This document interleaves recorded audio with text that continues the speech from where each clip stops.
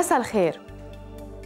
بعد ليلة من الهواء العاصف والمغبر واللي تخطت سرعته 80 كم بالساعة سقطت الأمطار الموحلة صباحا وانخفضت درجات الحرارة أكثر من 6 درجات بسبب تأثر طقس لبنان والحوض الشرقي للبحر الأبيض المتوسط بمنخفض جوي مصدره اليونان. حامل معه أمطار مصحوبة ببرق ورعد وانخفاض بدرجات الحرارة وتساقط ثلوج على ارتفاع 1500 متر ليلة الجمعة السبت.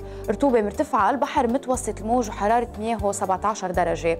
ليلة طقسنا غائم مع انخفاض بدرجات الحرارة لتعود لمعدلاتها السنوية وتساقط أمطار مصحوبة ببرق ورعد ببعض الأحيان وتكون ضباب على المرتفعات. لبكرة الخميس طقسنا غائم مع انخفاض بدرجات الحرارة وتساقط أمطار متفرقة تشتد غزارتها خلال الليل مع برق ورعد وهبوب رياح قوية أحيانا.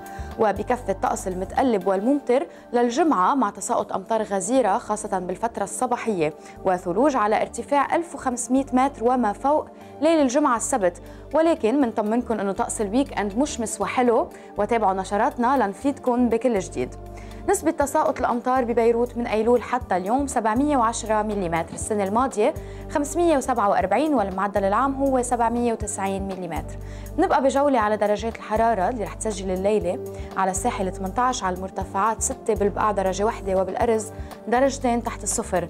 نبقى بجولة أخرى على درجات الحرارة اللي رح تسجل لبكرة ببعض المناطق اللبنانية. بينه 16 المينا 17 4 بالأرز العقورة 10 عرسال 9 17 بالصفرة عين سعادة 15 بيروت 18 المختار 11 وعين عطا 14 درجة.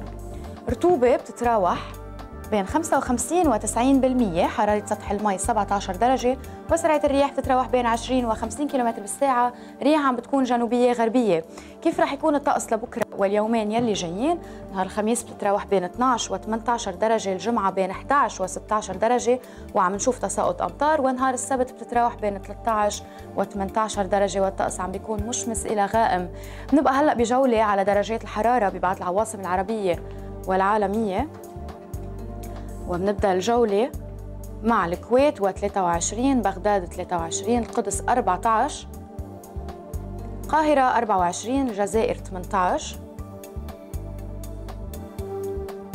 أثينا 18 روما 15 وباريس 12 درجة.